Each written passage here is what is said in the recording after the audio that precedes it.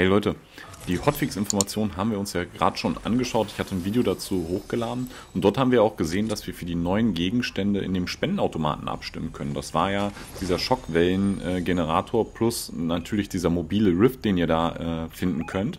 Wir sollten uns für eine Sache entscheiden und der, äh, der Gegenstand, der bei 100% landet, kommt ins Game. Jetzt habe ich aber den Schockwellengenerator schon bei Stealthy gefunden. Ich habe euch das hier mal ins Video gepackt. Äh, das Ding ist also jetzt schon in-game. Ihr findet es in der Truhe und könnt schon damit an den Start gehen. Ob das nur ein Bug ist oder ob sie den wieder rausnehmen, weiß ich nicht. Aber für euch die Information, das Ding ist schon in-game, der mobile Rift auch schon. Also insofern, ich würde sagen, äh, holt euch das Teil und ganz viel Spaß damit.